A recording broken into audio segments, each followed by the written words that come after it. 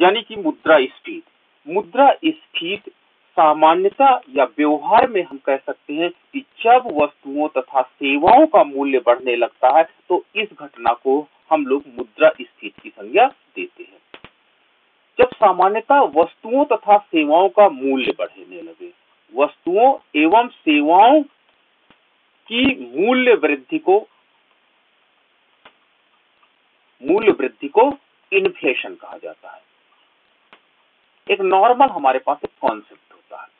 Inflation के परिणाम स्वरूप हमारी परचेजिंग पावर हमारी खरीदने की क्षमता पहले से कम हो जाती है। इन्फ्लेशन क्या करता है? परचेजिंग पावर को, खरीदने की क्षमता को पहले से कम कर देता है। इसलिए एक उपभोक्ता का क्या हो जाता है?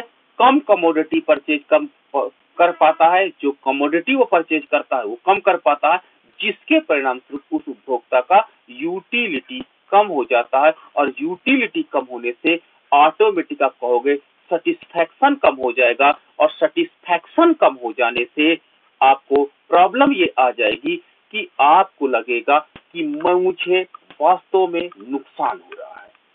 क्लियर है?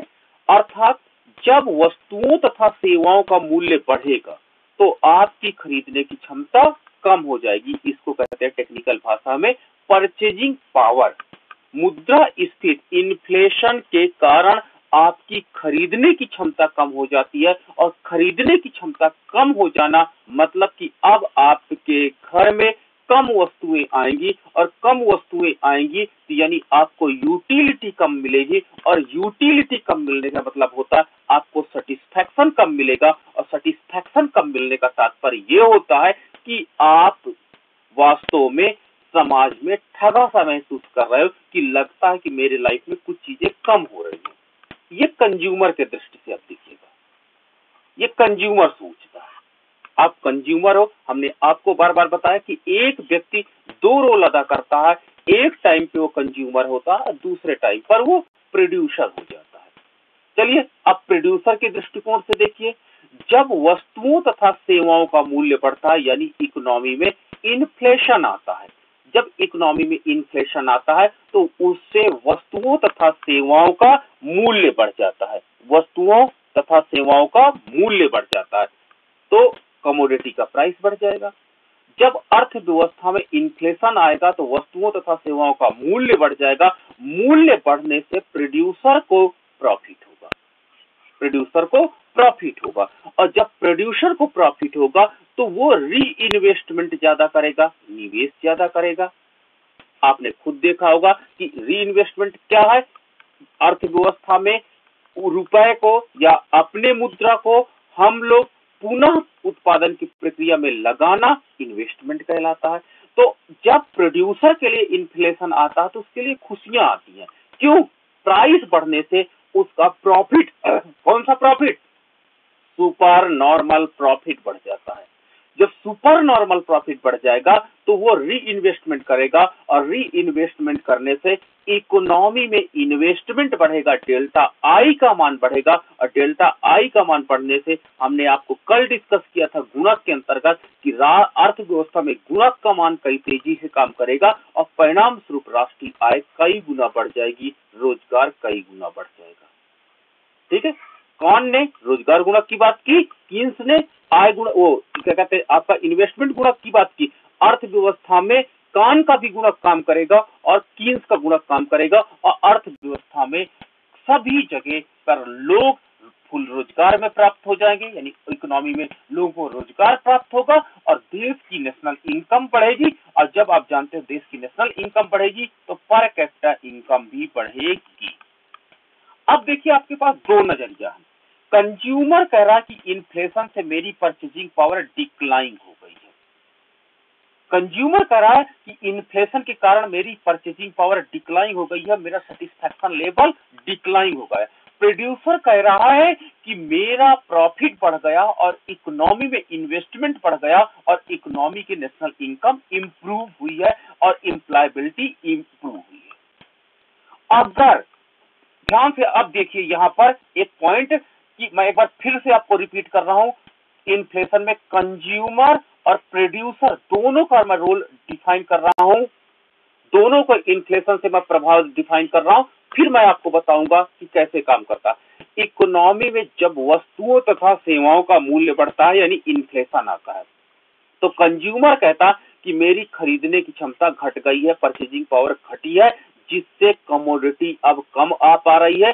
कमोडिटी कम आने के परिणाम स्वरूप अब मेरा यूटिलिटी कम हो गया है और यूटिलिटी कम होने के परिणाम स्वरूप मेरा सेटिस्फैक्शन कम हो गया है।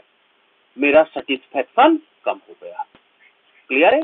ये कंज्यूमर कह रहा है। प्रोड्यूसर कह रहा कि कमोडिटी का प्राइस बढ़ने से प्रॉफिट बढ़ गया है और प्रॉफिट किस प्रकार का? सुपर नॉर्मल प्रॉफिट बढ़ गया है। जिसके परिणाम स्वरूप उसको इन्वेस्टमेंट बढ़ गया, क्योंकि प्रॉफिट बढ़ा है, लाभ बढ़ेगा तो निवेश बढ़ेगा, और निवेश बढ़ने के परिणाम स्वरूप क्या हुआ? गुणक ने काम किया है, और गुणक के काम करने के परिणाम स्वरूप कान के द्वारा, कान के द्वारा आर एफ़ कान के द्वारा एम्प्लॉयमेंट बढ़ गया है, और किन्स के द्वारा इकोनॉमी में नेशनल इनकम बढ़ गई है। तो रोज़गार बढ़ गया, राष्ट्रीय आय बढ़ गई। अगर आपके सेटिस्फेक्शन लेवल की अपेक्षा इकोनॉमी में रोज़गार तथा राष्ट्रीय आय ज़्यादा बढ़ रही है तो इस प्रकार का इन्फ्लेशन समाज में कम वर्गों को नुकसान पहुंचाता है और अधिक वर्गों को लाभ पहुंचाएगा।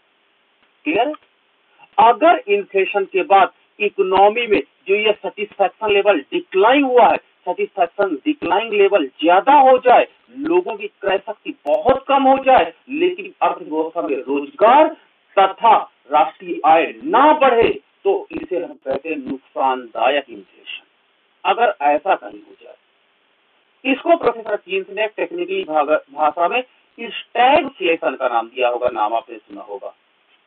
ठीक है? स्टैगफ्लेशन का मतलब होता है जब इकोनॉमी में वस्तुओं का और सेवाओं का मूल्य तो बढ़े, लेकिन अर्थव्यवस्था में रोज़गार तथा राष्ट्रीय आय न बढ़े तो उस कंडीशन को स्टेट स्टेटफ्लेशन की संज्ञा दी जाती है। अवरोध मुद्रा स्फीति। अवरोध मुद्रा स्फीति अर्थव्यवस्था में मुद्रा स्फीति का कार्य है रोज़गार तथा राष्ट्रीय आय को बढ़ाना। पर इनकम को बढ़ाना। लेकिन अगर इकोनॉमी में लगातार वस्तुओं तथा सेवाओं का मूल्य बढ़े, लेकिन अर्थव्यवस्था में उपभोक्ता का सेटिस्फैक्शन लेवल लगातार डिक्लाइन हो, लेकिन अर्थव्यवस्था में न तो रोज़गार बढ़े, न तो नेशनल इनकम बढ़े, न तो पर इनकम बढ़े। अगर आपको ये कंडीशन दिखाई पड़ती है तो समाज के लिए वास्तव में ये बड़ा दुखदायी होता है और इसे हम लोग स्टैगफ्लेशन की संज्ञा देंगे। अर्थात रुका हुआ मुद्रा स्फीति।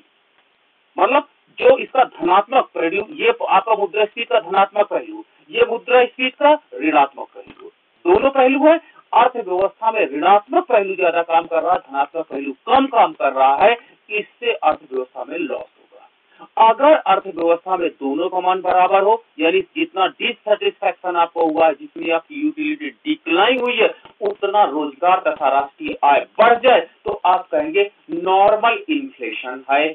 ठीक है, कोई प्रभाव नहीं पड़ रहा। मेरा इधर वस्तुओं तथा सेवाओं की खरीदने की क्षमता कम हुई है। मेरे घर में दो लोग और रोज़गार पा गए हैं। मेरी इनकम बढ़ गई है। अब जब इनकम बढ़ गई है तो प्राइस बढ़ने का कोई फ़र्क नहीं पड़ता। अगर आपको इकोनॉमी में लगातार वस्तुओं का मूल्य बढ़े और साथ ही साथ आपकी नेशनल इनकम आपकी आय बढ़े तो आपको प्राइस का बढ़ने का कोई दुख नहीं होगा। क्यों? आपकी खरीदने की क्षमता वही रहेगी। भले वस्तुओं का मूल्य बढ़ रहा है, मूल्य बढ़ने से कोई फ़र्क नहीं पड़ता अगर आपकी इनकम बढ़ रही है। चलो, वस्तुओं का मूल्य मान लीजिए आपका बीस रुपए के जी आपका आलू है और आपकी इनकम मान के चलिए दस हज़ार रुपए पर महीने ठीक है? इन आलू का रेट बढ़ करके चालीस रुपए के जी हो जाए, हमें कोई प्रॉब्लम नहीं है, बस हमारा इनकम आप बढ़ा करके ट्वेंटी थाउज़ेंड कर दो।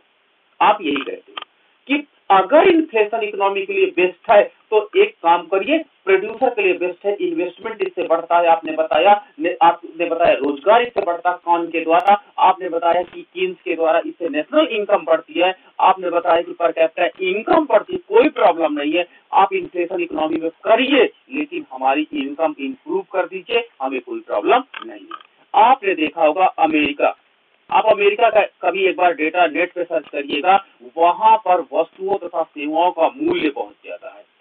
ठीक है? साथ ही साथ अर्थव्यवस्था में लोगों की आय भी बहुत ज़्यादा है। क्यों? इसके परिणाम स्वरूप पॉजिटिव इफ़ेक्ट को वहाँ पर इम्प्रूव करने के लिए इन्फ्लेशन को जानबूझ करके फैलाया गया है। अब आप समझ गए होंगे कि जितने दुनिया में विकसित देश हैं डेवलप्ड कंट्री हैं, वहाँ पर इन्फ्लेशन इतना ज़्यादा क्यों है? वहाँ पर वस्तुओं तथा सेवाओं का मूल्य क्यों ज़्यादा है?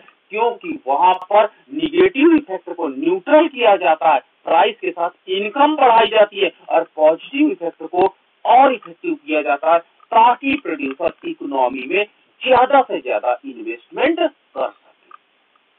यूरोप में आप देख लेना प्राइस बहुत ज़्यादा हाई है। सो मच हाई आप तो अपने फेस से कंज्यूमर फेस से आपको लगता है कि मैं इंडिया से जाऊँगा तो मेरे पास परचेजिंग पावर नहीं होगी। लेकिन अमेरिका के लोगों को, आप डेवलप्ड कंट्री के लोगों को, वहाँ की सरकार मूल्य बढ़ाती है। मूल्य बढ़ाने के बाद वेतन भी साथ साथ बढ़ा देती है। तो जिसके परिणाम स्वरूप वहाँ पर कंज्यूमर के लिए जो प्राइस आपका इन्फ्लेशन है, उसका प्रभाव न्यूट्रल हो जाता और प्रोड्यूसर के लिए वही बेनिफिट हो जाता।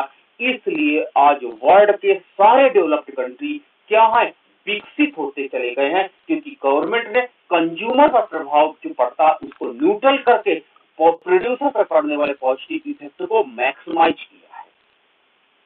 अगर भारत में लगातार वस्तुओं तथा सेवाओं का मूल्य बढ़ता है नो प्रॉब्लम इनकम बढ़नी चाहिए। ठीक है? एक प्रकार से इकोनॉमी को बूस्ट करने के हम लोग क्या करते हैं? प्रक्रिया करते हैं। बूस्ट करने के प्रक्रिया का तात्पर्य होता कि हम अर्थव्यवस्था को तेज़ी से डेवलपमेंट करना चाहते हैं और साथ साथ उपभोक्ता पर प्रभाव ना पड़े, इसका भी हम लोग विचार करते हैं। ठीक है? अब इसलिए तो आपका हुआ इन्फ्लेशन क्यों इम्पोर्टेंट है? इकोनॉमी के लिए मैंने आपको ये डिस्कस किया। एक इकोनॉमी के लिए इन्फ्लेशन कैसे जान फूक देता है, मैंने आपको ये डिस्कस किया अब इसकी पीछे की कहानी क्या है? इसकी पीछे की कहानी प्रोफेसर फिशर बताते हैं। ठीक है? फिशर क्लासिकल इकोनॉमिस्ट में जाने जाते हैं और ये मौद्रिक अर्थशास्त्रियों के अंतर्गत बहुत पॉपुलर हैं प्रोफेसर फिशर तो प्रोफेसर फिशर ने इकोनॉमी में जब अध्ययन किया तो अध्ययन करने के बाद इनको एक रिपोर्ट मिला। रिपोर्ट ये मिला कि जब अर्थव्यवस्था में मुद्रा की पूर्ति दुगना कर दिया जाता है, मुद्रा की पूर्ति दुगना कर दिया जाता है तो अर्थव्यवस्था में वस्तुओं तथा सेवाओं का मूल्य भी दुगना हो जाता है। अर्थात जब मुद्रा की पूर्ति, मुद्रा की पूर्ति दुगना कर दिया जा रहा है तो वस्तुओं तथा सेवाओं का मूल्य भी दुगना हो जाता है। और जब मुद्रा की पूर्ति आधी कर दी जा रही है, यानी आधी कर दी जा रही हाफ़ कर दी जा रही है तो वस्तुओं तथा सेवाओं का मूल्य भी आधा हो जा रहा है। तो इन्होंने तो बड़ा अच्छा रिज़ल्ट निकाला। इन्होंने बताया कि अर्थव्यवस्था में अगर reserve bank of India circulation में जितनी मुद्रा पड़ी है, जितनी मुद्रा supply of money supply of money कितनी कितने अर्थव्यवस्था में 2000 के नोट इस समय चल रहे हैं? कितने अर्थव्यवस्था में 500 के नोट इस समय चल रहे हैं? कितने अर्थव्यवस्था में 100 के नोट इस समय चल रहे हैं? कितने अर्थव्यवस्था में 50 के नोट चल रहे हैं? कितने अर्थव्यवस्था में 20 का नोट चल रहा है? कितना अर्थव्यवस्था में 200 का नोट चल रहा है? ना, ये सारे नंबर्स आरबीआई के पास पता है। ये है आपकी सप्लाई ऑफ़ मनी अगर सप्लाई ऑफ़ मनी 2000 के नोट, अगर मान लीजिए इकोनॉमी में 50 नोट है सपोज़ दैट तो गवर्नमेंट अगर इनको सौ कर देती है 500 का नोट, जो 100 नोट पड़े हैं, इनको अगर 200 कर देती है तो अर्थव्यवस्था में supply of money two times हो जाएगी कि नहीं? अगर इन नोटों की संख्या सरकार सप्लाई में अर्थव्यवस्था में डबल कर दे डबल कर देने का मतलब होता है लोन के माध्यम से, आपकी वेतन वृद्धि के माध्यम से, अन्य माध्यम से अगर मुद्रा की पूर्ति सरकार बढ़ा देती है और दुगना कर देती है तो अर्थव्यवस्था में मूल्य भी दुगना हो जाता है। ये प्रोफेसर फिशर ने अपने सिद्धांत में पाया। और मुद्रा पूर्ति कौन करता है? रिज़र्व बैंक ऑफ़ इंडिया जो आपका केंद्रीय बैंक है तो रिज़र्व बैंक ऑफ़ इंडिया जब मुद्रा की पूर्ति करता है तो उसके परिणाम स्वरूप वस्तुओं तथा सेवाओं का मूल्य भी दुगना हो जाता है। और जब दुगना हो जाता है तो रिज़ल्ट क्या आता है? हमको रिज़ल्ट आता है इन्फ्लेशन। तो एक बात तो क्लियर हो गई। कि अर्थव्यवस्था में इन्फ्लेशन का कंट्रोलर कौन है? RBI reserve bank of India है। यानी अर्थव्यवस्था में अगर मुद्रा स्फीति ज़्यादा होती है या मुद्रा स्फीति कम होती है तो बहुत हद तक फिसर के अनुसार मौद्रिक नीति पर आपका ये निर्भर करता है। मौद्रिक नीति पर। तो एक रिज़ल्ट आपको यहाँ से मिल गया कि अर्थव्यवस्था में इन्फ्लेशन का कारण क्या है? अर्थव्यवस्था में मौद्रिक नीति और मौद्रिक नीति दो प्रकार की होती है। एक होती है आपकी लोचशील मौद्रिक नीति। लोचशील मौद्रिक नीति का मतलब होता है जब अर्थव्यवस्था में सरकार जानबूझ करके मुद्रा की पूर्ति बढ़ा देती है तो इसे हम लोग पूर्ति बढ़ा देती है तो इसे हम लोचशील मुद्रा, मौद्रिक कहते हैं। और जब अर्थव्यवस्था में जान जाती है कि उपभोक्ताओं की क्रय शक्ति की अपेक्षा, क्रय शक्ति को ज़्यादा प्रभावित कर रही है, जबकि अन्य तत्वों को प्रभावित कम कर रही है तो इसे हम कहते हैं आलोचशील या कठोर मौद्रिक नीति। कठोर मौद्रिक नीति, आप न्यूज़पेपर में बहुत सुनते होंगे। कठोर मौद्रिक नीति, यानी जब अर्थव्यवस्था में उत्पादक द्वारा मुद्रा की पूर्ति में मुद्रा में कमी की जाती है जानबूझ करके। तो अर्थव्यवस्था के हिसाब से आरबीआई मुद्रा की मात्रा बढ़ा देती है, जब अर्थव्यवस्था में लगता है कि इन्वेस्टर कम इन्वेस्टमेंट कर रहे हैं, उत्पादक कम निवेश कर रहे हैं तो इस प्रकार आरबीआई अर्थव्यवस्था में मुद्रा की पूर्ति बढ़ा देती है, जिसके परिणाम स्वरूप वस्तुओं तथा सेवाओं का मूल्य भी उसी अनुपात में बढ़ जाता है, जिस अनुपात में मुद्रा की पूर्ति बढ़ाई गई है और रिज़ल्ट हमको क्या मिलता है? इन्फ्लेशन मुद्रा ठीक है? अब इससे उत्पादक क्या हो जाएँगे? प्रेरित होंगे। अब प्रेरित होने के परिणाम स्वरूप अर्थव्यवस्था में ज़्यादा निवेश करेंगे। तो एक प्रकार से अर्थव्यवस्था में आरबीआई अगर मुद्रा की पूर्ति बढ़ा रही है, और मुद्रा की पूर्ति बढ़ाने का तरीका क्या है? अर्थव्यवस्था में ब्याज की दरें कम कर दो तो भी मुद्रा की पूर्ति बढ़ेगी। जब ब्याज दर कम होगी तो उपभोक्ता ज़्यादा बैंक में पैसा जमा नहीं करेगा, और प्रोड्यूसर ज़्यादा से ज़्यादा पैसा मार्केट से निकालेगा। प्रोड्यूसर ज़्यादा से ज़्यादा पैसा मार्केट से निकालेगा, जिसके परिणाम स्वरूप अगर ब्याज की दर इकोनॉमी में कम है तो आप समझ जाना कि अर्थव्यवस्था में आरबीआई मुद्रा की पूर्ति बढ़ा रही है, अर्थात वस्तुओं तथा सेवाओं का मूल्य बढ़ेगा, अर्थात इन्फ्लेशन आएगा, और जिसके परिणाम स्वरूप उपभोक्ता की क्रय शक्ति थोड़ी सी प्रभावित होगी, लेकिन प्रोड्यूसर इन्वेस्टमेंट भी बढ़ाएगा, जिससे राष्ट्रीय आय तथा रोज़गार भी बढ़ेगा ओके तो इस प्रकार मौद्रिक नीति जो मोनेटरी पॉलिसी होती है, वो फिशर के अनुसार आरबीआई के कंट्रोल में होती है। अर्थात आरबीआई मुद्रा स्फीति को अपने मौद्रिक नीति के ज़रिए अर्थव्यवस्था में मुद्रा की पूर्ति में वृद्धि या कमी के द्वारा कंट्रोल करती है। अब आपको एक बात तो क्लियर हो गई कि अच्छा ये आरबीआई द्वारा जानबूझ करके किया जाता है। ओके और आरबीआई टूल्स अपनाती है ब्याज की दर। अर्थव्यवस्था में मुद्रा की पूर्ति बढ़ाने या घटाने के लिए आरबीआई सबसे महत्वपूर्ण अपना टूल्स है। ब्याज की दर कम करना और ब्याज की दर के अंतर्गत आपने नाम सुना होगा बैंक रेट का, आपने सुना होगा रेट का C R R cash reserve ratio का, आपने एस एल आर इन सारे पॉइंट्स को हम बैंकिंग के अंतर्गत जब आरबीआई आपको स्पेशल पढ़ाएँगे लेक्चर देंगे तब हम बताएँगे। बस अभी आप मोटा मोटा ये समझ लीजिए कि अर्थव्यवस्था में यदि ब्याज की दरें आरबीआई कम करता है तो इससे कॉमर्शियल बैंक ब्याज की दरें कम कर देते हैं। और कॉमर्शियल बैंक का मतलब होता है, जैसे एस बी आई आपका P N B, bank of Baroda etc ये भी अपने रेट ऑफ़ इंटरेस्ट को डिक्लाइन करते हैं और रेट ऑफ़ इंटरेस्ट को डिक्लाइन करने से प्रोड्यूसर ज़्यादा से ज़्यादा लोन लेता है। और लोन लेने का तात्पर्य क्या हुआ? अर्थव्यवस्था में मुद्रा की पूर्ति बढ़ जाना। तो जब अर्थव्यवस्था में मुद्रा की पूर्ति आरबीआई को बढ़ाना होता है तो आरबीआई क्या करता है? ब्याज की दरों में कमी कर देता है। और ब्याज की दरों में कमी से प्रोड्यूसर लोन लेने लगते हैं और कंज्यूमर बैंक में पैसा कम जमा करने लगता है। हम लोग सेविंग कम करते हैं। अरे, बहुत कम ब्याज मिल रहा क्यों जमा करना? परिणाम स्वरूप अर्थव्यवस्था में कंजप्शन की क्रिया प्रमोट होगी। और प्रोफेसर कीन्स ने क्या कहा कि अगर अर्थव्यवस्था में लोग व्यय ज़्यादा करते हैं इकोनॉमी की डेवलपमेंट स्पीड ज़्यादा होगी, क्योंकि सी का मान बढ़ेगा तो आपने देखा एमपीसी का मान बढ़ेगा, और एमपीसी का मान बढ़ेगा तो गुणक का मान भी बढ़ेगा कल की क्लास के अनुसार। क्लियर है? तो आप देखिए, अब आपको समझ में आ गया होगा अच्छा इन्फ्लेशन से जानबूझ करके जानबूझ करके एक मोनोट्री फिनोमिना को पैदा किया जाता है, अर्थात मौद्रिक घटना का जन्म दिया जाता है, ये रिज़ल्ट हमको मिल गया।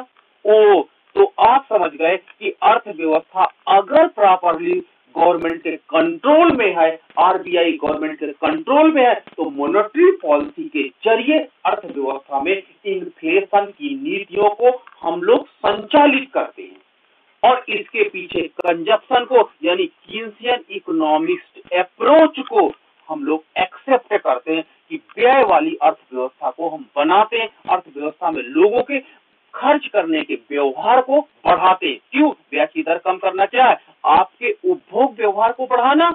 अर्थात आप ज़्यादा से ज़्यादा लोन ले लो, आप एजुकेशन ले लो लो, अच्छी पढ़ाई करो जा करके आप एक काम करो, दुकान के लिए लोन ले लो, आप जा करके ये लोन क्या है? एक प्रकार से आपको खर्च करने के लिए प्रमोट कर रहे हैं। दूसरा बैंक कह रहे कि ब्याज हम कम देंगे बचतों में, जब बचत में आपको ब्याज कम दे दिया तो इसका तात्पर्य भी क्यों है कि आप अपने पास पैसा रखो? और पैसे का एक गुण होता है, अगर आपके पॉकेट में पैसा होता है तो वो खर्च होने का मन करता है ना? अगर आपके जेब में पैसा है तो आप कहते हैं, चलो इसको खर्च करते हैं, चलो कोल्ड ड्रिंक पी कर करते हैं। लेकिन अगर आपका पैसा एटीएम कार्ड के अंदर है तो आप एक बार आलस कर जाओगे, अरे कौन पैसा निकाले? चलो उससे कुछ ब्याज तो मिल रहा है। तो उपभोक्ता का एक व्यवहार होता है। अगर उसके पर्स में नोट है तो उसको जानबूझ करके क्या होता है, खर्च करने की इच्छा जागृत हो जाती है। तो आरबीआई बैंक में पैसा ब्याज की दर के माध्यम से कम रखता है, अर्थात मनी सर्कुलेशन बढ़ा देता है।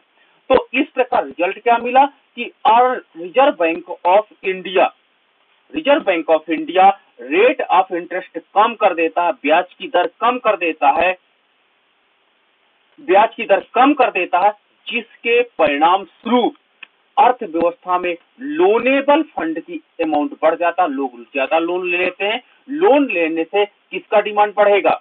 आप बताओ, मान लो आप पार्ले जी की कंपनी खोल रहे हो तो आप क्या करोगे? श्रमिक ज़्यादा लगाओगे लैंड ज़्यादा लगाओगे कैपिटल ज़्यादा लगाओगे तो इनकी इनकम बढ़ेगी कि नहीं बढ़ेगी? इनकी इनकम सबकी बढ़ेगी। जब इनकी इनकम बढ़ेगी तो इनका उपभोग बढ़ेगा तो फिर से सक्सेस होगा? कि लोन देने से अर्थव्यवस्था में उत्पादन के सभी संसाधनों की वास्तव में व्यय करने वाला व्यवहार पहले से बढ़ गया। उपभोग व्यवहार पहले से बढ़ गया। तीन सक्सेस हो। गए अर्थात ये जब बढ़ेगा तो मार्जिनल प्रोपेंसिटी टू कंज्यूम बढ़ेगी। मार्जिनल प्रोपेंसिटी टू कंज्यूम बढ़ने से अर्थव्यवस्था में गुणक धनात्मक काम करेगा और राष्ट्रीय आय बढ़ जाएगी। दूसरे तरफ़ हम लोग सेविंग का बहिष्कार करते हैं। बैंक क्या करती है? जब ब्याज की दर कम कर देती है तो लोग सेविंग्स कम करने लगते हैं। जब सेविंग्स कम करेंगे तो हम बताएँ कि एक उपभोक्ता क्या करता या तो उपभोग करेगा, या तो बचत करेगा। ठीक है? जब आपकी सेविंग्स कम होगी तो आपका उपभोग व्यवहार क्या होगा? बढ़ेगा। जब उपभोग बढ़ेगा तो आप क्या करेंगे? आपकी एग्रीगेट डिमांड इंप्रूव होगी। होगी कि नहीं? एग्रीगेट डिमांड इंप्रूव होगी एमपीसी आपकी बढ़ेगी, और एमपीसी बढ़ने के परिणाम स्वरूप गुणक पॉजिटिव काम करेगा, और इकोनॉमी में नेशनल इनकम फिर कीन्सियन इकोनॉमिक्स और फीसर का दृष्टिकोण फीसर का दृष्टिकोण आई एम जस्ट रिपीटिंग अर्थव्यवस्था में यदि मुद्रा की पूर्ति दुगना कर दिया जाएगा तो मूल्य स्तर भी दुगना हो जाता है। इसे हम फिशर अप्रोच कहते हैं। फीसर ने यह सिद्धांत अपना प्राप्त किया कि अर्थव्यवस्था में मुद्रा की पूर्ति डबल करने से उसी अनुपात में वस्तुओं तथा सेवाओं का मूल्य बढ़ जाता है। और आरबीआई ने थ्योरी को एक्सेप्ट आरबीआई ने कहा ये तो मेरे लिए अच्छा हो गया। अब वो जानबूझ करके अर्थव्यवस्था में सर्कुलेशन में नंबर ऑफ़ नोट्स इकोनॉमी में बढ़ाता है। तो ये है आपकी इन्फ्लेशन की बैकग्राउंड कहानी। तो अब आपने इन्फ्लेशन से क्या समझा कि जब अर्थव्यवस्था में इन्फ्लेशन फैलता है तो इन्फ्लेशन के परिणाम स्वरूप इन्फ्लेशन क्या है? जब अर्थव्यवस्था में वस्तु, जब अर्थव्यवस्था में मूल्य बढ़ता है, लेकिन मूल्य की अपेक्षा वस्तुओं का उत्पादन कम बढ़ता है, जब अर्थव्यवस्था में मूल्य तो बढ़ता है, लेकिन मूल्य की अपेक्षा उत्पादन बढ़े, लेकिन उससे कम स्पीड में बढ़े। मान लीजिए मूल्य 20 परसेंट की स्पीड से बढ़ता है और उत्पादन 10 परसेंट की स्पीड से बढ़ता है तो इस कंडीशन को हम लोग इन्फ्लेशन की संज्ञा देते हैं। दूसरे शब्द में हम कहें कि अर्थव्यवस्था में जब मूल्य बढ़ता है तो मूल्य का पीछा उत्पादन उस अनुपात में नहीं कर पाता है। यदि जिस रेट से मूल्य बढ़ता है, उस रेट से उत्पादन नहीं बढ़ पाता है। परिणाम स्वरूप अर्थव्यवस्था में हमारी क्रय शक्ति कम हो जाती है तथा अर्थव्यवस्था में इन्फ्लेशन दिखाई पड़ता है। अगर इकोनॉमी में प्राइस बढ़ने का रेट जिस अनुपात से प्राइस बढ़ता है मूल्य बढ़ता है, उसी अनुपात से आउटपुट इकोनॉमी में बढ़े, अर्थव्यवस्था में तो उस कंडीशन को हम लोग इन्फ्लेशन की संज्ञा नहीं देंगे। तो अर्थव्यवस्था में RBI reserve bank of India मुद्रा की पूर्ति ज़्यादा बढ़ा देता, जिससे वस्तुओं का मूल्य तेज़ी से बढ़ता है लेकिन उस अनुपात से उत्पादन नहीं बढ़ पाता, जिससे ये हमें परमानेंटली बढ़ा हुआ वस्तुओं तथा सेवाओं का मूल्य प्राप्त होता। है प्रोफेसर कीन्स ने कहा कि अर्थव्यवस्था में वन डिजिट इन्फ्लेशन अच्छा है। वन डिजिट इन्फ्लेशन का मतलब अगर आपकी इकोनॉमी में एक से लेकर के नौ तक, नौ परसेंट तक इन्फ्लेशन है that is very good for economy that is very good for economy वो अर्थव्यवस्था के लिए बहुत अच्छा है। लेकिन जैसे वन डिजिट से टू डिजिट में हुआ, जैसे 10 से ऊपर इन्फ्लेशन चली गई 99 की तरफ़ 99 की तरफ़, यानी 10 परसेंट से 99 की तरफ़ जाती है, ये इकोनॉमी में इन्फ्लेशन बैड माना जाता है। यानी आपकी अर्थव्यवस्था में मुद्रा पूर्ति की स्पीड बहुत ज़्यादा है और अर्थव्यवस्था में वस्तुओं तथा सेवाओं का मूल्य बहुत तेज़ी से रैपिडली ग्रोथ कर रहा है और अर्थव्यवस्था में उत्पादन उतनी तेज़ी से ग्रोथ नहीं कर रहा। तो आपको ये बात तो क्लियर हो गई कि मुद्रा स्फीति जब अर्थव्यवस्था में वस्तुओं तथा सेवाओं का मूल्य बढ़े, लेकिन उस अनुपात से उत्पादन नहीं बढ़े तो इस कंडीशन को हम मुद्रा स्फीति कहते हैं। ठीक है? अब देखिए, प्रोफेसर कीन्स ने कहा कि अर्थव्यवस्था में, मान लीजिए, हम यहाँ पर अर्थव्यवस्था में उत्पादन आउटपुट को ले रहे हैं और लंब अक्ष पर हमने प्राइस को ले लिया।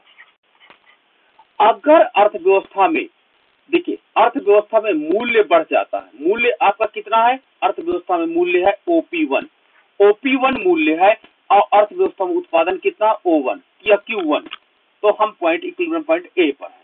ठीक है? अर्थव्यवस्था में मूल्य बढ़ जाता है। मूल्य बढ़ा, मूल्य बढ़ करके ओपी टू हो जाता है।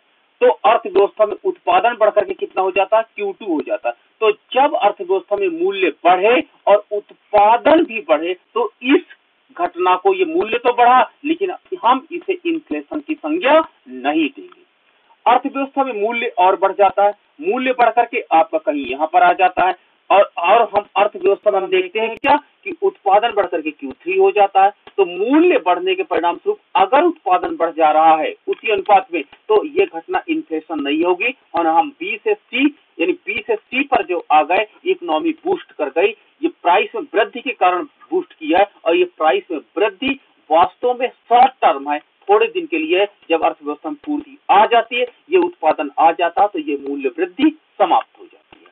तो इसे हम शॉर्ट टर्म इन्फ्लेशन कहते हैं, जो अर्थव्यवस्था में उत्पादन आते ही ये में मूल्य में वृद्धि समाप्त हो जाती प्रोफेसर कीन्स ने कहा कि एक ऐसा स्तर आता है जिसे हम लोग फुल एम्प्लॉयमेंट स्टेज कहते हैं। फुल एम्प्लॉयमेंट स्टेज वो कंडीशन होती है जब अर्थव्यवस्था में अब हमको उत्पादन बढ़ाना संभव नहीं होता है। अर्थात ये फुल एम्प्लॉयमेंट स्टेज है, इसके बाद आपकी ये जो पूर्ति एग्रीगेट पूर्ति रेखा है सप्लाई रेखा ये इनइलास्टिक हो जाती है, यहाँ पर बेलोच हो जाती है। बेलोचदार हो जाती है। और जब बेरोजगार हो जाती है तो अर्थव्यवस्था में यदि वस्तुओं तथा सेवाओं का मूल्य इस पॉइंट के बाद बढ़ता है, किस पॉइंट के बाद? ओपी प्राइस के बाद यदि मूल्य बढ़ता है तो ओपी प्राइस के बाद यदि मूल्य बढ़े और मूल्य बढ़ने के परिणाम स्वरूप आउटपुट का मान ना बढ़े। आउटपुट का ना मान ना बढ़े, क्योंकि अर्थव्यवस्था में अब आपके पास उत्पादन करने की क्षमता सीमित हो गई है तो इस घटना को हम लोग इन्फ्लेशन कहते हैं। तो कीन्स ने कहा कि पी के पूर्व, इस पी के पूर्व जितना मूल्य में वृद्धि हुई है, ये सारी मूल्य में वृद्धि वास्तव में इन्फ्लेशन नहीं माना जाएगा, क्योंकि इससे अर्थव्यवस्था में उत्पादन भी तो बढ़ रहा है। जब उत्पादन बढ़ रहा है तो इस घटना को हम लोग इन्फ्लेशन नहीं मानते। लेकिन अगर पी पॉइंट के बाद मूल्य बढ़ता है तो इस घटना को हम लोग इन्फ्लेशन मानेंगे, क्योंकि इससे उत्पादन नहीं बढ़ता। तो प्रोफेसर कीन्स ने कहा कि फुल एम्प्लॉयमेंट स्टेज के बाद अगर इकोनॉमी में प्राइस बढ़ता आपको दिख रहा है तो ये घटना आपकी इन्फ्लेशन मानी जाएगी। चलिए, देखिए, मूल्य बढ़कर ओपी से ओपी वन हो जाता है। मूल्य बढ़ गया, लेकिन अर्थव्यवस्था में उत्पादन देखिए वही है। तो जब हम पूर्ति रेखा के बेलोच पार्ट पर होते हैं तो अर्थव्यवस्था में वस्तुओं का मूल्य बढ़ने से उत्पादन नहीं बढ़ता है। इस घटना को प्रोफेसर किन्स ने कहा अर्थव्यवस्था में ये घटना इन्फ्लेशन कहलाएगी। लेकिन सभी प्रकार की मूल्य वृद्धि जो अर्थव्यवस्था में आप देखते हो, उसको इन्फ्लेशन आप नहीं कहोगे। लगातार वस्तुओं की शॉर्टेज होने से मूल्य बढ़ जाता है, जो शॉर्टेज कभी फ्यूचर में पूरा हो जाता है। मान लीजिए मिल्क का रेट अर्थव्यवस्था में बढ़ जाए, सब्ज़ी का रेट अर्थव्यवस्था में बढ़ जाए तो आप इनको इन्फ्लेशन नहीं घोषित कर सकते हो, क्योंकि जैसी इसका उत्पादन मार्केट में आ जाएगा, उत्पादन आते ही ये इन्फ्लेशन न्यूट्रल हो जाएगा, जो ये प्राइस में वृद्धि हुई है ये न्यूट्रल हो जाएगा। तो प्रोफेसर कीन्स ने कहा कि अर्थव्यवस्था में जब हम लोचशील पूर्ति रेखा पर चलते हैं, ये लोचशील पूर्ति रेखा है।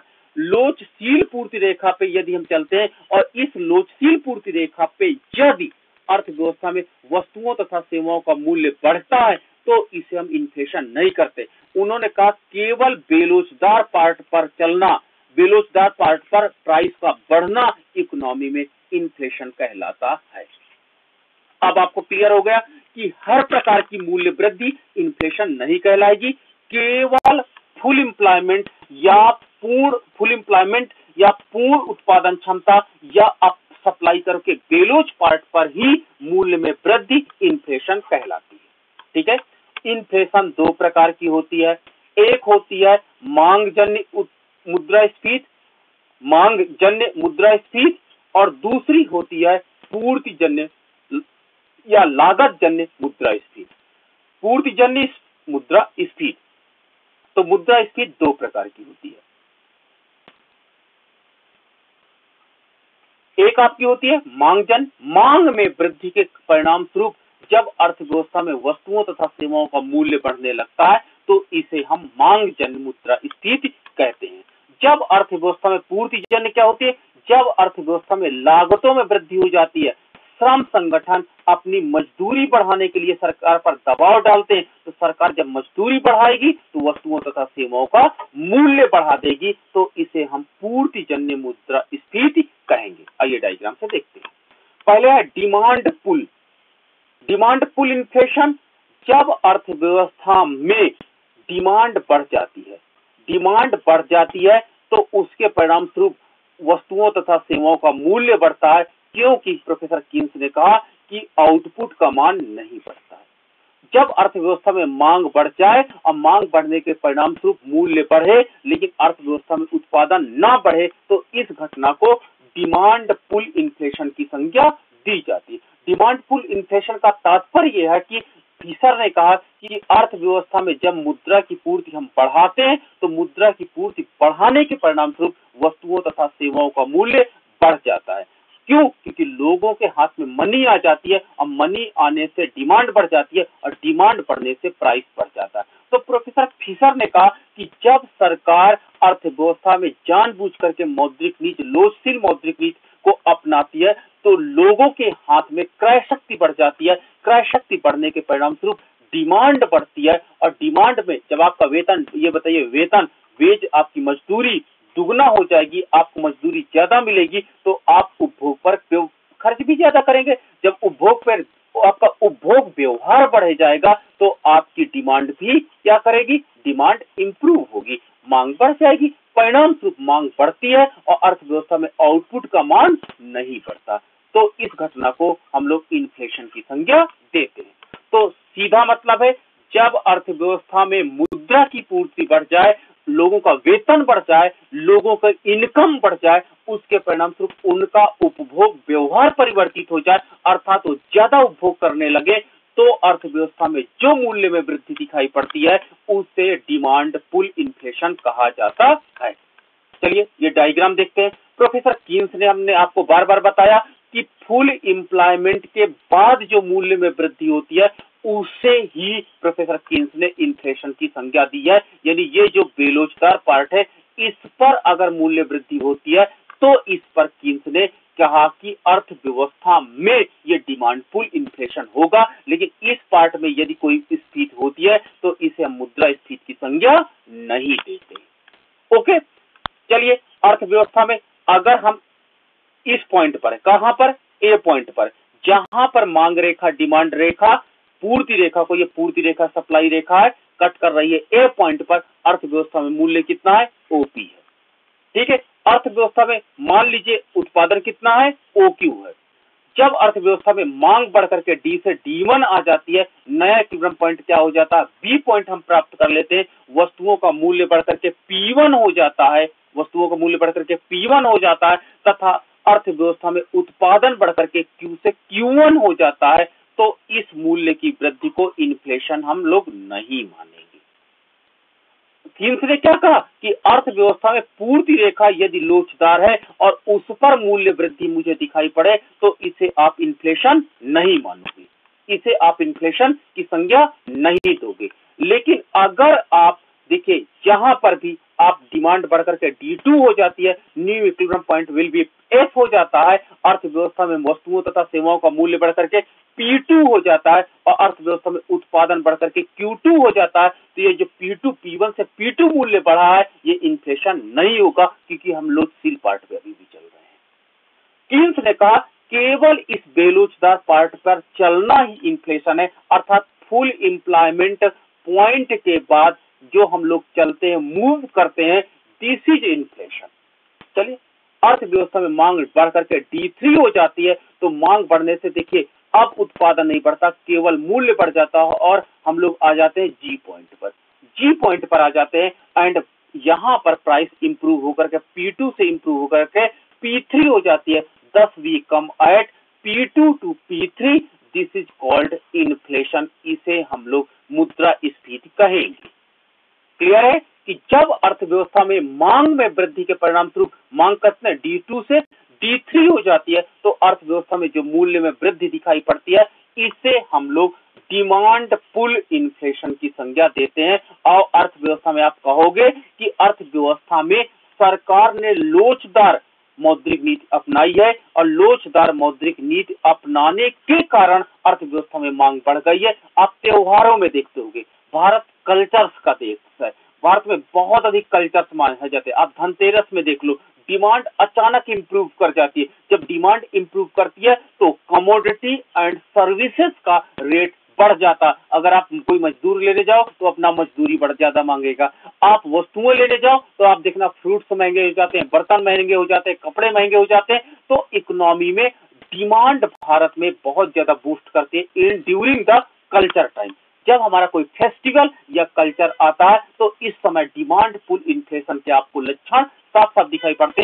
जैसे ही त्योहार समाप्त होता उन वस्तुओं का मूल्य समाप्त हो जाता क्योंकि डिमांड फिर से डिक्लाइन कर जाती है, मांग फिर से घट जाती है। तो इसे हम लोग डिमांड पुल इन्फ्लेशन की संज्ञा देते हैं। आपको ये बात क्लियर हो गई। चलिए। अब हम लोग डिस्कस करते हैं cost push inflation cost push inflation pull नहीं पुश अर्थात धक्का देना।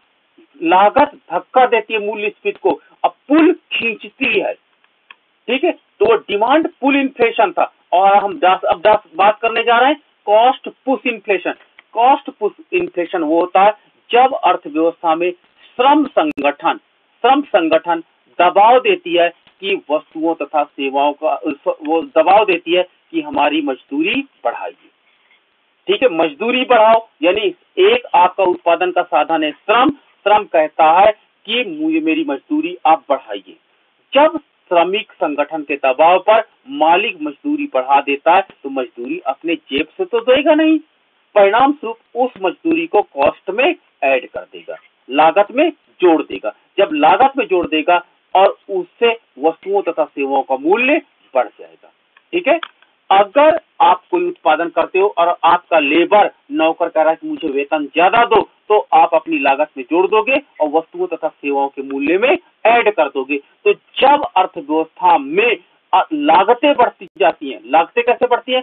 श्रमिक अपना मूल्य ज़्यादा मांगे भूमिपति लगान बढ़ा दे, जिस बिल्डिंग में आप काम कर रहे हो, वहाँ का रेंट बढ़ जाए तो आप लागत बढ़ा दोगे। ठीक है कैपिटलिस्टिक जो होता, पूंजीपति क्या करे? वो एक काम करे, अधिक इंटरेस्ट रेट की डिमांड कर दे तो आपका अर्थव्यवस्था में क्या हो जाएगा? आपकी लागत बढ़ जाएगी तो इन सभी कारणों से लागतें बढ़ जाती है। जब लागत बढ़ने से अर्थव्यवस्था में मूल्य बढ़ता है तो इसे हम कॉस्ट पुश इन्फ्लेशन की संज्ञा देते हैं। अर्थात कॉस्ट बढ़ने का मतलब होता है सप्लाई कर्व शिफ्ट होता है। सप्लाई कर्व शिफ्ट होता है। उसमें देखिए डिमांड कर्व शिफ्ट हो रहा था, लागत बढ़ने से यहाँ पे पूर्ति वक्र शिफ्ट होता है और पूर्ति वक्र शिफ्ट होता है तो आप देखिए कि प्रारंभ में हम संतुलन बिंदु ई पर रहते हैं, ये आपकी मांग रेखा, ये आपकी पूर्ति रेखा है एएस सप्लाई रेखा है, और ये आपकी डिमांड रेखा दोनों इक्विलिब्रियम पॉइंट ई पर हैं, हमने कहा कि फुल एम्प्लॉयमेंट ये पॉइंट है फुल एम्प्लॉयमेंट पॉइंट क्यू है, प्रोफेसर कीन्स ने कहा, इसके बाद सप्लाई कर्व बेलोचदार हो रही है, इसलिए क्या है, अर्थव्यवस्था में ये आपकी पूर्ति रेखा है जो बेलोचदार है। प्रारंभ में इक्विलिब्रियम पॉइंट ई पर हम रहते हैं। ई पर रहने से आप देखिए उत्पादन कितना होता है ओ क्यू होता है और मूल्य कितना होता है ओपी होता है। ये मूल्य है तथा ये उत्पादन है। अर्थव्यवस्था में अब देखिए लागतें इंप्रूव हो गई। देखिए, लागत इंप्रूव हो गई तो ये जो आपका डॉटेड लाइन है, ये लागत वृद्धि को दिखाता। है ये पूर्ति रेखा है, ये जो अभी तक पूर्ति रेखा थी, ये शिफ्ट होकर के एस वन हो गई है। ये कॉस्ट देखिए बढ़ गई है। जब लागत बढ़ती है तो हम ये डॉटेड लाइन हमको जनरेट हो जाती है। लागत बढ़ने से जो ये आपकी रेखा होती है, देखिए, ऊपर की ओर शिफ्ट हो गई, अर्थात लागत बढ़ गई। अब देखिए, ये आपका जो डॉट है पॉइंट आपका एफ़ पॉइंट होगा this will be new equilibrium point और हम लोग कहाँ पे चले जाएँगे, इस रेखा पे चलेंगे और आप एक पॉइंट पर आ जाओगे और वस्तुओं तथा सेवाओं का मूल्य बढ़ करके पी से पी वन हो जाता है। ये जो मूल्य में वृद्धि हुई है, ये लागत में वृद्धि के कारण हुई है। इसीलिए इसे कॉस्ट पुश इन्फ्लेशन की संज्ञा सीपीआई की संज्ञा देते हैं। ये कॉस्ट पुश इन्फ्लेशन है। तो अर्थव्यवस्था में जब लागत बढ़ेगी तो ऑटोमेटिक उत्पादन भी पहले से कम हो जाएगा। हो जाएगा। तो इस प्रकार देखते हैं कि प्रारंभ में डिमांड आपकी डी पॉइंट पे रहती है इक्विलिब्रियम पॉइंट मेरा ई रहता है, अर्थव्यवस्था में मूल्य मेरा पी रहता है, ठीक है? जब अर्थव्यवस्था में लागत बढ़ती है तो लागत बढ़ने के परिणाम स्वरूप हमारा नया ये पूर्व की मांग रेखा को नई पूर्ति रेखा या लागत रेखा एस बिंदु पे काटती है, जिसके परिणाम स्वरूप मूल्य बढ़ करके P1 हो जाता। इस घटना को हम लोग क्या कहते हैं? कॉस्ट पुश इन्फ्लेशन कहेंगे। अर्थव्यवस्था में कॉस्ट पुश इन्फ्लेशन है अर्थात लागतों में वृद्धि के परिणाम स्वरूप जो मूल्य में वृद्धि होती है, उसे हम लोग कॉस्ट पुश इन्फ्लेशन की संज्ञा देते हैं। ठीक है? तो एक तरफ़ मजदूर मजदूरी बढ़ाने के लिए दबाव देते हैं, ठीक है? मजदूरी बढ़ती है, जब मजदूरी बढ़ेगी तो ये बताइए, मजदूरी बढ़ने से उसकी सैलरी बढ़ी सैलरी बढ़ेगी तो इनकम बढ़ेगी। इनकम बढ़ने से एक और प्रभाव जन्म लेगा। क्या जन्म लेगा प्रभाव? उसका उपभोग व्यवहार भी बढ़ सकता, उसका उपभोग की मांग भी बढ़ सकती है। जब मजदूर अपनी श्रमिक, अपनी मजदूरी ज़्यादा पाएगा, उसको ज़्यादा वेतन मिलेगा, अर्थात उसकी इनकम ज़्यादा होगी तो उसकी डिमांड फिर से क्या हो जाएगी? ज़्यादा हो जाएगी। तो आपको डिमांड बढ़ता हुआ इकोनॉमी में फिर से दिखाई पड़ेगा। और डिमांड बढ़ करके आप आ जाओगे डी वन पॉइंट पर। देखिए, लागत बढ़ी, लागत बढ़ने से जो मूल्य बढ़ा पी से पी वन पे हम आ गए। परिणाम स्वरूप जब वो वेतन लेकर के अपने घर गया और वस्तुएँ ज़्यादा खरीदने लगा तो आप देखिए, मांग बढ़ जाती है। और मांग बढ़ करके डी वन पे हम आ जाते हैं, नया इक्विलिब्रियम पॉइंट जी हो जाता है। अब देखिए, यहाँ पर पूर्ति रेखा, ये पूर्ति रेखा थी आपकी ये पूर्ति रेखा, देखिए डॉटेड पॉइंट ही है ना? डॉटेड पॉइंट है, पूर्ति रेखा है, और ये मांग रेखा दोनों एक दूसरे को जी पॉइंट पे कट कर रहे हैं। यहाँ से अगर मैं लंबच पर एक रेखा खींचता हूँ पी टू लाइन खींचता हूँ तो ये जो मूल्य में वृद्धि हुई है, देखिए ये डिमांड में बढ़ने के कारण मूल्य में वृद्धि हुई है। तो इसे हम डिमांड पुल इन्फ्लेशन कहेंगे।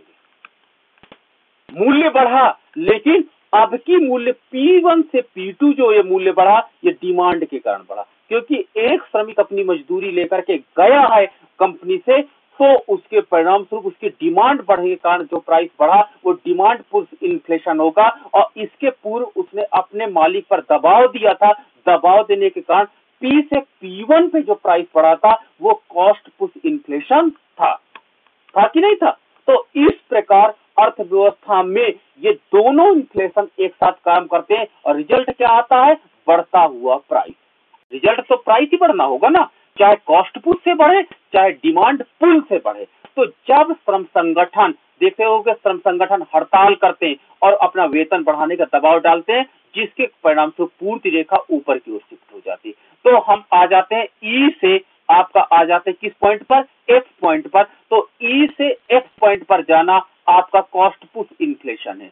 कॉस्ट पुश इन्फ्लेशन है। लेकिन जब अर्थव्यवस्था में उनका वेतन मिल जाता है तो वो क्या करेंगे? उनकी मांग पहले से बढ़ जाती है। और मांग बढ़ने से हम इस लाइन पे अब देखिए चलने लगते हैं। तो मांग बढ़ने से पुनः मूल्य बढ़ जाता है। इसे हम लोग पुनः डिमांड ये जो पार्ट है आपका, ये कहलाएगा डिमांड पुल इन्फ्लेशन कहलाएगा। तो अर्थव्यवस्था में इस प्रकार, अब देखिए यहाँ पर फिर से, अब मजदूर को लगता है कि यार फिर से प्राइस बढ़ गया, फिर मालिक के पास जाता है। मालिक जो आपने वेज बढ़ाया था सफिशियंट नहीं है। अर्थव्यवस्था में मूल्य ज़्यादा बढ़ गया है। अब मेरा वेतन फिर से बढ़ाओ। फिर वो दबाव देता। तो परिणाम स्वरूप मालिक को दबाव देता, जिससे लागतें पुनः बढ़ जाती है। और लागतें पुनः बढ़ने के परिणाम स्वरूप हम जी से एच पॉइंट पे आ जाते हैं। ये देखिए, मांग रेखा को अब नई पूर्ति रेखा काट कर रही है एच पर। तो जी से एच पर आ जाते हैं और एच पर आने का मतलब होता है इस लाइन पर हम चलते हैं। ये जो लाइन है और यहाँ पर देखिए, फिर से लागत बढ़ गई है। यानी ये कॉस्ट पुल इन्फ्लेशन को फिर से दिखाने लगता है। और इसको अगर मैं इधर मिला दूँ तो अगर आपको मिला दूँ तो ये आप देखिए cost pull inflation push inflation फिर से आपको दिखाई पड़ेगा और मूल्य P2 से P3 हो जाता है। तो इस प्रकार दोनों डिमांड पुल नहीं सॉरी पहले कॉस्ट पुल काम करती है पुश काम करती है, फिर डिमांड पुल काम करती है, फिर कॉस्ट इस तरह इकोनॉमी में जिगजग करके प्राइस बढ़ता चला जाता, आपने देखा होगा। चलो, एक बार फिर से रिपीट में कर देता हूँ। एक बार मैं फिर से रिपीट करने जा रहा हूँ। अर्थव्यवस्था में हम लोग, ये फुल एम्प्लॉयमेंट पॉइंट है। इस फुल एम्प्लॉयमेंट पॉइंट पर प्रोफेसर कीन्स ने कहा था कि अर्थव्यवस्था में जो बेरोजगार पार्ट में हम लोग अगर प्राइस बढ़ता है तो यही अर्थव्यवस्था में इन्फ्लेशन कहलाएगा। ठीक है? चलो। ये आपकी अर्थव्यवस्था में एक नॉर्मल कंडीशन है, ये पूर्ति रेखा है, ये पूर्ति रेखा है, ये मांग रेखा दोनों एक दूसरे के एफ़ पॉइंट पर कट कर रहे हैं। अर्थव्यवस्था में मूल्य आपका ओपी है, ये प्राइस अर्थव्यवस्था में श्रमिक संगठन, श्रम संगठनों ने दबाव दिया। श्रम संगठन दबाव देते हैं किसके लिए मजदूरी बढ़ाने के लिए। जब मजदूरी बढ़ाने के लिए दबाव देते हैं तो मजदूरी बढ़ने से लागतें बढ़ जाती है। जब लागतें बढ़ जाती हैं तो अर्थव्यवस्था में प्राइस बढ़ जाता है। तो जब श्रम संगठन ने दबाव दिया तो अर्थव्यवस्था में ये लागतें बढ़ करके एस से एस वन आ गई। ये लागतें बढ़ गई। कॉस्ट बढ़ गई। जिससे पूरा ये कॉस्ट रेखा और ये मांग रेखा जो है इसको इक्विलिब्रियम पॉइंट ई पर हम आ जाते हैं। ठीक है? एफ़ या जी पर आ जाते हैं। जी पर आ जाते हैं। और ये नया संतुलन बिंदु हो जाता है। इसको आप लंब से मिला दीजिए। तो मूल्य बढ़ करके ओपी वन हो जाता है। मूल्य बढ़ करके ओपी वन हो जाता है। तो इससे हम लोग क्या कहते हैं? इससे हम लोग कॉस्ट पूस इन्फ्लेशन कहते हैं। क्योंकि लागतों में वृद्धि के कारण हम पी से पी वन पर आ जाते हैं। इसी प्रकार अर्थव्यवस्था में अब क्या होता है? कि ये जो मजदूर होते हैं, अपनी मजदूरी लेकर के घर जाते हैं और घर जाने के परिणाम स्वरूप डिमांड बढ़ा देते हैं। अच्छी सब्ज़ी खरीद के लाते हैं, कपड़े खरीद के लाते हैं तो वेज बढ़ने से एक तरफ़ तो लागत बढ़ती है, लेकिन दूसरी तरफ़ डिमांड बढ़ जाती है। बढ़ेगी डिमांड और जब डिमांड बढ़ेगी तो प्राइस बढ़ेगा। ठीक है? प्राइस बढ़ेगा तो डिमांड बढ़ करके अब यहाँ पर आ जाती है। तो देखिए डिमांड बढ़ गई और ये पुरानी पूर्ति रेखा को, ये डॉटेड डॉटेड आगे निकल जाती है, इसको कट कर रही है एच पॉइंट पर। चलो, इसको मिला दो लंबा से। जब मैंने इसको मिला दिया तो प्राइस हो गया पी टू तो अर्थव्यवस्था में जो ये मूल्य बढ़ा, ये मूल्य क्या होगा? डिमांड पुल इन्फ्लेशन होगा। डीपीआई होगा। ठीक है? डीपीआई हो गया। अब मूल्य बढ़ गया। फिर श्रमिक मुँह बनाने लगा। यार, देखो, हमने वेतन बढ़वाया, लेकिन मूल्य तो ज़्यादा बढ़ गया। हमने वेतन तो मात्र इतने का बढ़वाया, इतने का, लेकिन अर्थव्यवस्था मूल्य तो इतना बढ़ गया, फिर वो दबाव देता अपने मालिक से। मेरा मालिक फिर से वेतन बढ़ा। मालिक ने वेतन फिर से बढ़ा दिया तो नई पूर्ति रेखा या लागत रेखा आपकी कुछ ऐसी हो जाती। है देखिए नई पूर्ति रेखा एस टू हो जाती। अब देखो लागत इतनी बढ़ गई। जब लागत बढ़ जाएगी तो उसके परिणाम स्वरूप नया इक्विलिब्रियम पॉइंट आपका क्या मिल जाएगा? एच आई मिल जाएगा। इसको आप जोड़ दो पी थ्री पर। जब इसको आप P3 पर जोड़ दोगे तो ये जो आपका मूल्य बढ़ा, ये जो बढ़ा, ये तय कर लाएगा आपका अर्थव्यवस्था में मूल्य बढ़ा, किसके कारण? लागत के कारण बढ़ा तो ये सीपीआई कहलाएगा। तो इस प्रकार आप देखिए कि पहले एफ़ से जी पर गए कॉस्ट के बढ़ने का कारण नया इक्विलिब्रियम मिला, ये कॉस्ट इन्फ्लेशन है, ये आप यहाँ से यहाँ जाते हो, फिर यहाँ से आप यहाँ पे जाते हो तो ये आपका डिमांड पुश है। जी से एच पर जाना डिमांड के कारण है तो डिमांड पुल इन्फ्लेशन है। फिर एच से आप आई पर जाते हो तो ये क्या हो जाता है? आपका अर्थव्यवस्था में क्या कहते हैं कॉस्ट पुश इन्फ्लेशन फिर आप कहीं इसी तरह ये जिग जैग करके इकोनॉमी में प्राइस बढ़ाता चला जाता है। इसे कहते हैं इन्फ्लेशन थ्योरी जब अर्थव्यवस्था में डिमांड एंड सप्लाई दोनों के कारण मूल्य बढ़ने लगता है तो इसे हम लोग cost push and demand pull inflation की संज्ञा देते हैं। अब प्रोफेसर कीन्स ने कहा कि अर्थव्यवस्था में जब पूर्ति लोचशील होती है तो उस पार्ट को हम लोग कभी नहीं कहेंगे इन्फ्लेशन अगर इसमें मूल्य बढ़ता। केवल फुल एम्प्लॉयमेंट के बाद जब अर्थव्यवस्था में सप्लाई कर इन इलास्टिक हो जाता है इन इलास्टिक हो जाता है तो उस कंडीशन को हम लोग क्या कहते हैं? हम लोग उसमें जो प्राइस बढ़ता है, उसे इन्फ्लेशन की संज्ञा देते हैं। तो ये आपका आज का टॉपिक था इन्फ्लेशन टू टाइप का इन्फ्लेशन है that is demand push pull and cost push inflation